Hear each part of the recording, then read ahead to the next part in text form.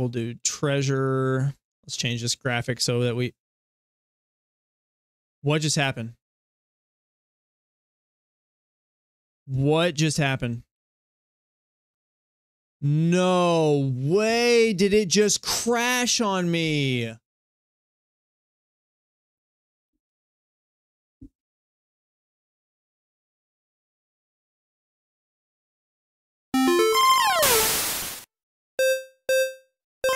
Okay, so this is take three of this tutorial, YouTube. The first time it crashed on me, the second time was my fault, admittedly. And so now we're on take three of trying to make this tutorial. This is how to have different inventories if you have multiple parties. So if you have a character that leaves the party, or if you have two different parties entirely, maybe they have different stories going on, this is how you'll separate their inventories, okay? Now, the two parties that we'll have just for testing purposes, one party one will be Reed and Priscilla, and party two will just be Gale.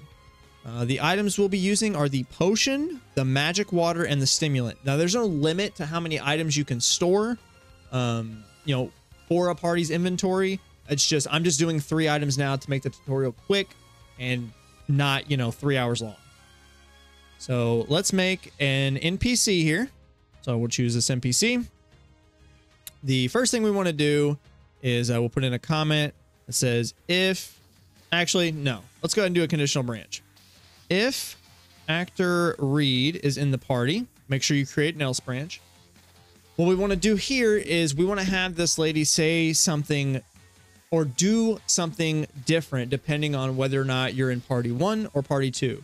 If Reed is in the party, you're in party one. So let's put a comment here. We'll say currently with Reed's party. If Reed is not in your party, which is the else handler, then we are currently in Gale's party. All right. And what we want to do is we want her to ask, do you want to switch to Gale? Okay. We're going to show choices here. Yes or no.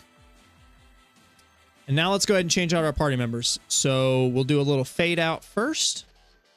If you don't fade out the screen when you change party members, you see them change like on this, like as it's happening, like it's on the screen, you'll see characters start to fade in and out and you don't want that. So just fade out the screen. Uh, we're going to change party members. We're going to add Gale and then we are going to remove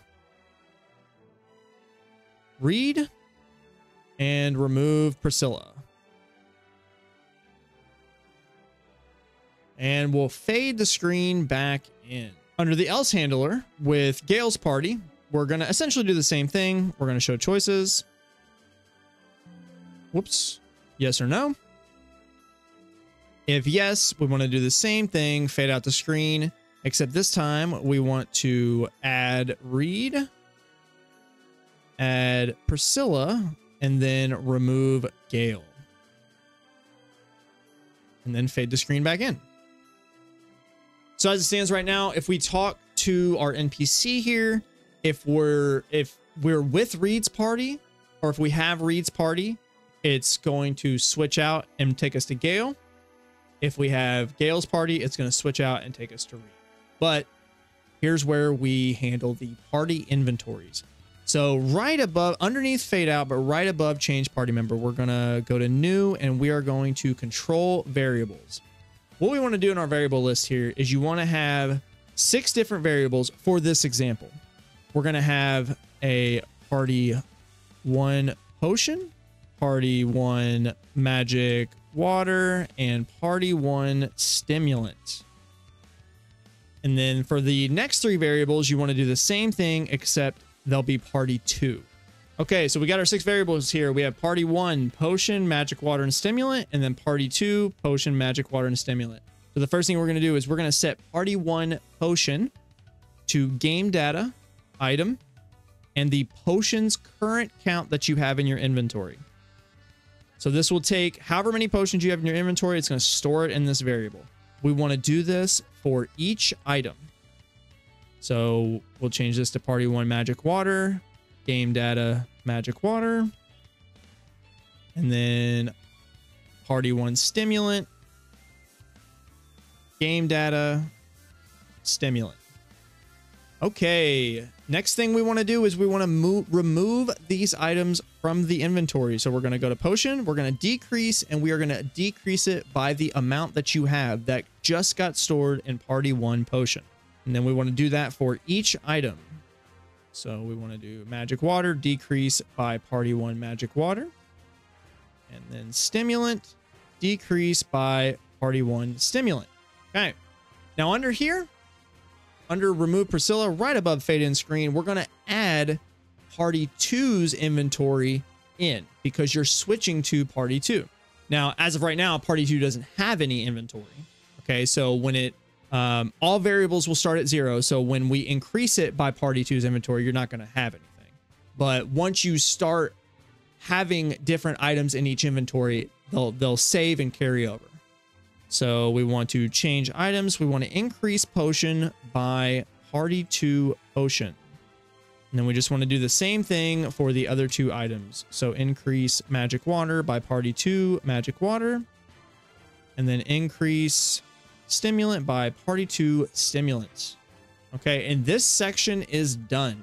Under Gale's party, when we're switching from Gale's party to Reed's party, we essentially just want to do the same thing, except we're switching party one with party two variables. So let's go ahead and set party two's potion to game data potion. Okay. We want to do that for each of the items. Make sure under this section you're doing party two. Party two magic water, game data, magic water. And then party two stimulant, game data, stimulant. Okay. Same thing as we did up above. Then we want to decrease or take out those items that you just stored into these variables. So remove, take potion, decrease it by party two potion. We want to do that for each of the items. So magic water, decrease by party two magic water, and then stimulant, decrease by party two stimulant. Okay, so now we've removed all of party two's inventory. Above fade in screen, we want to change items, potion, and we want to increase it by party one's potion because we're adding party one's inventory back in. And we're going to do the same thing for each item. So magic water, party 2 magic water increase and stimulant. Party 2 stimulant increase. All right so all this is done. The only thing we need to do now is we need to create some chests that will give us these items. So quick event creation treasure we'll do this one for potion. We'll do another one here for the magic water. And then finally, we'll do the last one here for uh, stimulants. And I want to go into each of these. I don't want to turn self switch A on because that will switch it over to the next page. And I want you to just be able to continuously do this over and over again. So we can just get varying amounts of each item. All right. Now, unless I've missed something, this should work. Now, this almost never goes exactly as planned. So let's uh, let's take a look here and see. All right. So as you can see, the party we have right now is Reed and Priscilla. Whoops. We have no items. Okay. We're gonna grab a potion. Wow, that is so loud. Is it that loud for you all? Let's grab another potion. Okay. We'll grab two magic waters and then we'll grab three stimulants. Okay, so we have four potions, two magic waters, and three stimulants. Okay, this is what party one has. Four, two, three. Just remember that. Four, two, and three. So let's talk to the lady here. Do you want to switch to Gale? Yes. Okay, so now we have Gale. As you can see, Gale has nothing in his inventory. What we're going to do is we're just going to grab one of each of these. Okay. So let's go into our inventory. We have one of each item. Beautiful. Now, let's switch back to Reed. Oh, we didn't put the text on, but that that's okay. All right, so now we're reading Priscilla again. I did not add, like, re-add them in the correct order, but that's okay. We go to items. Uh-oh. Something went wrong here. We, uh, we must have a variable incorrect in the event flow somewhere. So let's take a look at this. Oh, that's why. Yeah, when we changed items, we kept it party two, not party one. So let's change this to party one stimulant. Or no, that needs to be party one magic water. I apologize. And this needs to be party one stimulant. Okay. Let's give this another shot here. We'll just do the same quantities we did last time. We have four, two, three. Let's switch our parties. All right, Gale has nothing. We'll get one of each. Okay. Let's look at our inventory. We have one of each item. Now let's switch back. And as you can see, we have 423 again with our original party here. Okay. Uh, let's grab one more of each. All right. So we now have five, three, four. Remember that? All right. Let's switch back to Gale. And as you can see, Gale's got his original one potion, one magic water, and one stimulant. So let's just grab one of each again here. All right, we'll switch back one last time. Look at that, five, three, four. Perfect, perfect. Let's switch back to Gale. Two, two, two. There you go. And that is how you manage split inventories. It's not as easy as you want it to be, but it's not overly difficult. So as long as you understand how variables work, you should be able to uh, to easily manage this. Now, once you get towards you know later in your game, so if you look at like Final Fantasy VI, right? If you were to handle split parties at the end of that game, this list would be so incredibly long.